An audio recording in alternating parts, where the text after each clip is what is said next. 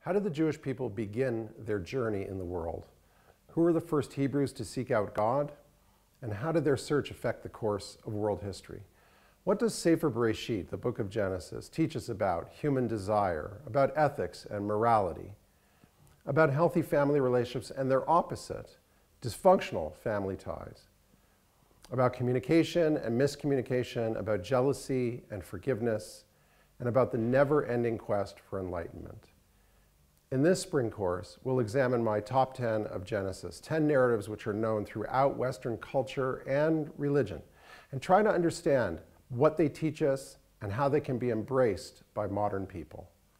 Our exploration will take us from the Garden of Eden, with its tale of human origin and human lack of accountability, all the way to the descent into Egypt with its stories of famine and family. So some of the questions that we'll be exploring include are human beings expected to naturally know right from wrong, or does it require God's instruction to set the standard for morality? Is Noah a praiseworthy example of fidelity to God's word, or a lamentable model of utter passivity in the face of impending disaster? Can God be trusted?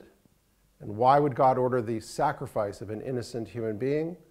Are the questions that revolve around the binding of Isaac, a story that had repercussions for generations to come, for his children and even his grandchildren.